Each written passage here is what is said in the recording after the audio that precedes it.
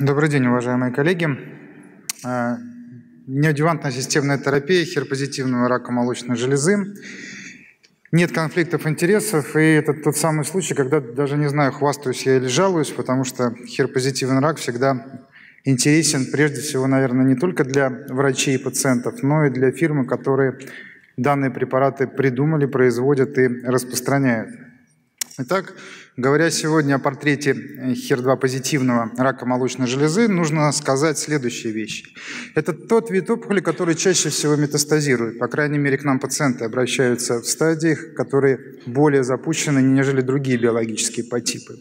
Это э, опухоли, которые имеют чаще макрометастазы, даже меньше, чем 4 э, лимфатических узла. Это опухоли, которые занимают на сегодняшний день 13% от общего числа всех пациентов с диагнозом рак молочной железы. Возможность контролировать HER2-позитивный рак молочной железы – это то, что, в общем-то, на сегодняшний день мы можем себе позволить сказать. Такая фраза существует. И на самом деле в начале 20 века основатель химиотерапии Эрлих сказал, что если бы мог быть выбран компонент, способный селективно связывать возбудитель, вызывающий заболевание, то вместе с этим компонентом к нему мог быть доставлен токсин. И именно в 1998 году, через 100 лет, эта идея была реализована в связи с появлением препарата трастузумаб. На сегодняшний день эффективность трастузумаба в адювантном режиме не вызывает никаких сомнений. Основополагающие исследования B31 демонстрируют и дальше будет демонстрировать значительно лучшие результаты общей выживаемости у больных, которым получают таргетную терапию. Трастузумаб в неодевантном режиме также демонстрирует значительную частоту достижения полных патоморфологических регрессов и основополагающее исследование, которое проводилось в том числе и под руководством Владимира Федоровича Семиглазова НОАХ, это однозначно демонстрирует уже в течение 9 лет, после того, как в 2010 году впервые были опубликованы результаты. И за последние 10 лет, в общем-то, частота полных патоморфологических регрессов значительно возросла. Последние исследования исследования с применением двойной блокады демонстрируют результаты до 73 до 80% полных патоморфологических регрессов в определенной, конечно, группе больных HER2 позитивным раком молочной железы. И, в общем-то, все достаточно хорошо и интересно, и дискутировать особо не о чем, потому что 80% полных патоморфологических регрессов мы не сможем с вами достичь ни в одной группе, другой группе других форм рака молочной железы. И значение по типу рака молочной железы в связи с ответом на неодевантную терапию именно в HER2 позитивных образованиях, так же как и в трижды негативных образованиях, демонстрирует значительные успехи. Да, действительно, успехи на неодевантной химиотерапии, они неоспоримы, но тем не менее остаются вопросы.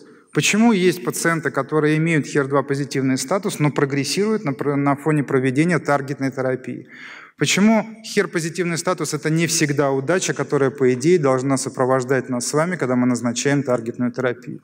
На сегодняшний день мы представляем хер-2 позитивный рак молочной железы как агрессивный подтип с высоким прогностическим риском локального и системного поражения. Но при этом у нас есть с вами возможность контролировать заболевание.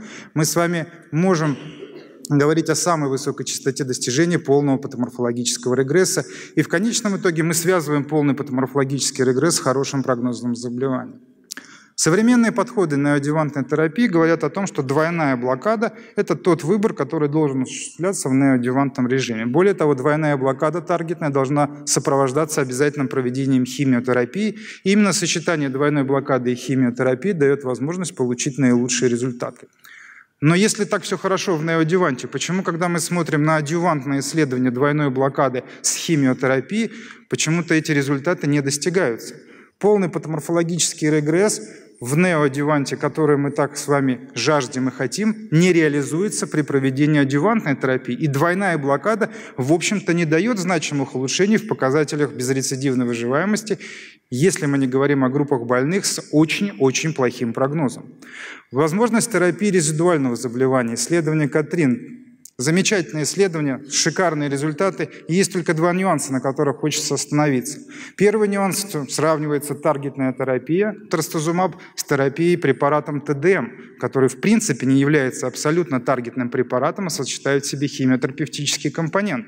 И сравнивать одну таргетную терапию с таргетной терапией и химиотерапией, наверное, не совсем корректно и говорить о том, что это хорошо, хотя результаты замечательные.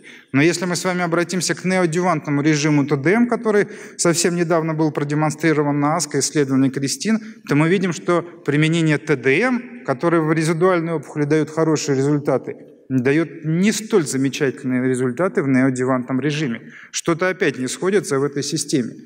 И как говорил или писал, вернее, Антон де Сент-Экзупери, в действительности все совершенно иначе, чем на самом деле. И та самая красная машина агрессивная, которую мы можем контролировать, не всегда является тем самым родстером, который замечательно справляется с дорогой и который приносит удовлетворение водителю, то есть врачу, который, в общем-то, назначает то самое лечение. Всем ли пациентам с HER2-позитивным раком молочной железы нужна двойная блокада, о которой мы сегодня так много говорим? На самом деле, Наверное, это не совсем так. И пациенты с опухолью размером менее 3 см при сопоставлении различных режимов с одной блокадой и с двойной блокадой демонстрируют вполне сходные результаты 3, 5 и 7-летней безрецидивной выживаемости. И двойная блокада – это не панацея на сегодняшний день при всех возможных формах HER2-позитивного рака молочной железы. Более того, на сегодняшний день двойная блокада без химиотерапии тоже достигает очень неплохих результатов. У пациентов HER2 enrich, обогащенных, так называемых истинных HER2 пациентах, можем, мы говорим о том, что почти у половины пациентов достигается полный патоморфологический регресс без химиотерапии. Опять что-то не совпадает, значит, не обязательно всем больным, может быть, назначать химиотерапию и таргетную терапию одновременно. Более того, антрациклины, на которые последние 20 лет мы, в общем-то, возлагаем огромные надежды, особенно у HER2-позитивных форм рака молочной железы, в общем-то, при подгрупповом анализе дают всего лишь 5% добавления в успех лечения. То есть те самые антрациклины при HER2 позитивных раках молочной железы тоже не являются абсолютной панацеей. Может быть, загадка в чем-то в другом, и те самые биологические подтипы, которые мы с вами привыкли, они не совсем те биологические подтипы, которые есть на самом деле. И тот самый постулат Антуана Сен-Экзупери, когда мы говорим о том, что красная машина – это всегда Феррари, на самом деле, может быть, красная машина – это не всегда Феррари. Есть же другие абсолютные подтипы, которые тоже являются красными, они тоже являются красными машинами. На самом деле, все не так, как есть на самом деле. И HER2 позитивный рак молочной железы, привычный нам с вами, это совершенно различные подгруппы, которые на сегодняшний день мы лишь с вами начинаем изучать. И значение имеет и размер первичного очага, и наличие гормональных статусов, наличие мутаций. Более того, молекулярно-биологический подтип, возможно, определяет успехи нашего с вами лечения. Если говорить о том самом размере машины, которая имеет значение, размер на самом деле имеет значение, особенно если мы говорим о HER2 позитивных раках молочной железы. И чем раньше мы с вами начнем лечение, таргетными препаратами и химиотерапией, тем лучших результатов мы с вами достигнем. Поэтому стремление лечить только местно распространенные формы тоже, наверное, не всегда правильно. И чем раньше мы начнем лечить более ранние формы таргетными препаратами, тем лучших результатов мы достигнем. На самом деле все еще интереснее, и красные машины тоже бывают совершенно разные. Хорошо нам с вами известный слайд, который демонстрируется всегда, когда говорят о таргетной терапии. На самом деле различия достаточно большие, не только по эстрогенным прогестероновым рецепторам, но и при наличии различных мутаций. Я не претендую на то, чтобы объяснить все механизмы мутаций, которые существуют. Но на сегодняшний день мы с вами находимся в заложниках лабораторных исследований. И если у нас есть реагент для определения той или иной мутации, мы ее анализируем. Насколько она действительно значима, сказать сложно. Но если обратиться к той самой пик-3 сей мутации, о которой мы говорим, то мы можем однозначно сказать, что проведение таргетной терапии у HER2 позитивных пациентов с различным уровнем мутации дает совершенно различные результаты в достижении полного патоморфологического регресса. И у HER2 позитивных больных полный патоморфологический регресс при наличии мутации всего лишь 7,6%. И HER2 позитивный статус никоим образом нам не помогает. На данном слайде также достаточно разные цифры при подгрупповом анализе полного патоморфологического регресса в зависимости от той самой мутации. На самом деле все еще интереснее. И на самом деле не только мутации, которые мы знаем, определяют прогноз наших пациентов и частоты достижения полного патоморфологического регресса. Те самые ТИЛСы, которые изучаются уже много-много лет, но дают нам очень много информации. Возможно, это пока не превращается в какие-то практические рекомендации.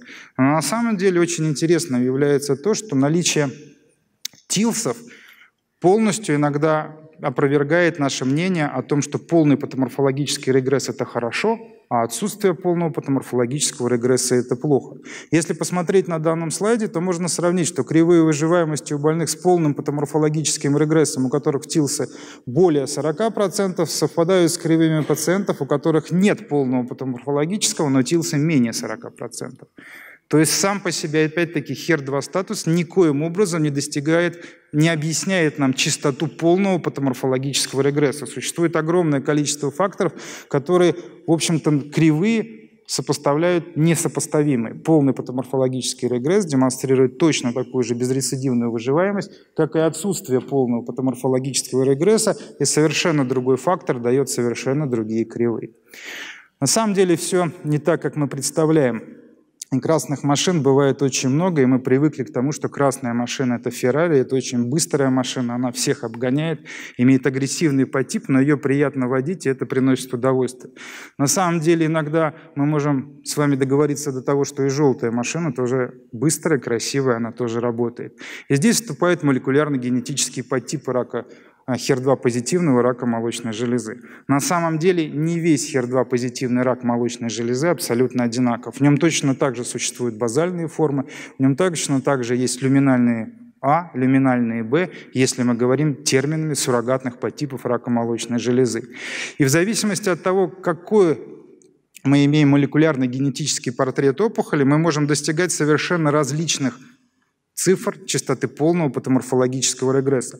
Мы можем достигать полного патоморфологического регресса до 70% у пациентов, у которых а, существуют те или иные а, молекулярно-генетические а, факторы, молекулярно-генетический портрет вместе с химиотерапией. И мы можем достигать 40% полных патоморфологических регрессов без химиотерапии как таковой у больных, у которых истинно HER2 позитивный рак молочной железы.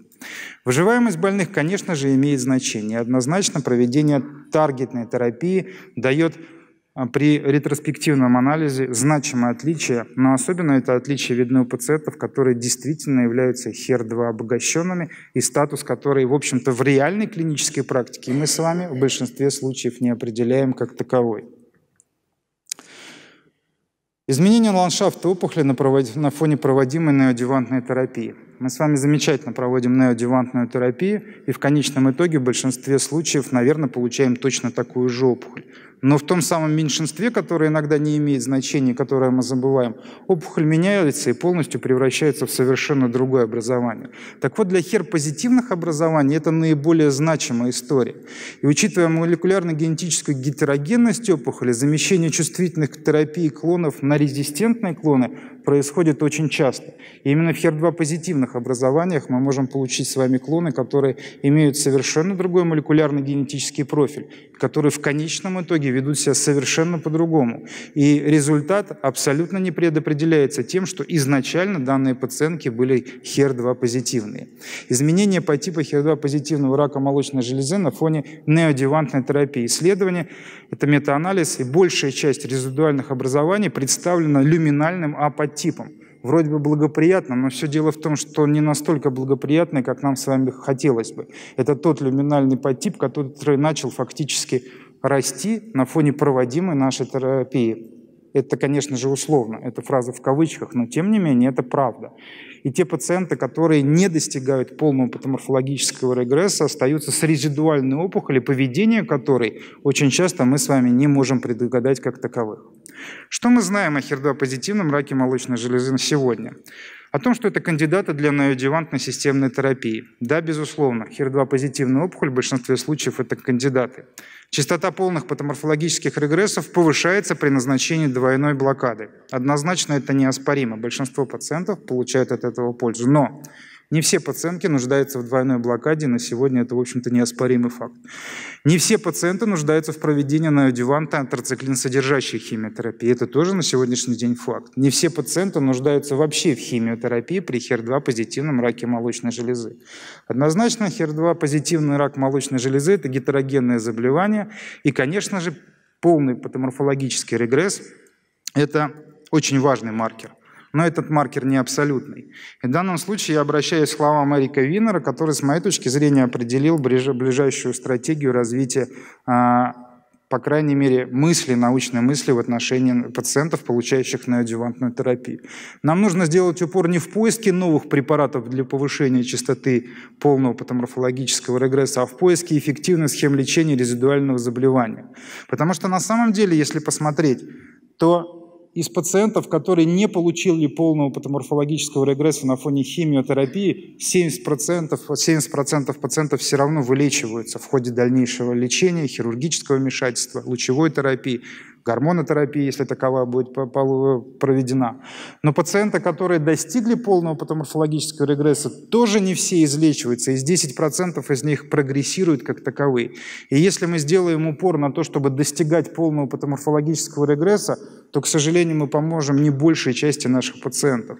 Поэтому следующая история – это история лечения резидуальной опухоли, которую, в общем-то, мы встречаем и встречаем, к сожалению, достаточно часто. Эрик Виннер предложил очень интересный протокол, который до сегодняшнего дня еще не запущен. И данный протокол говорит о том, что при получении резидуальной опухоли он предлагает в один рукав назначать, безусловно, ТДМ, который препарат на сегодняшний день продемонстрировал наилучшие результаты, а во второй рукав назначать режим по желанию исследователя, который принимает то решение, которое считает наиболее важным. В данном случае, наверное, этот протокол более корректен, нежели сравнивать лечение резидуальной опухоли в двух рукавах, рукава, который получает ТДМ, и рукав, который получает таргетную терапию. Но это все было теория, интересные разговоры. К вопросу о практике, а что же делать? Все очень просто. Вы открываете рекомендации РОМ или Ассоциации онкологов России и лечите на основании этих рекомендаций. Потому что наше измышление – это повод поговорить, встретиться и встретить белые ночи, которые всегда будут и есть. Спасибо за внимание.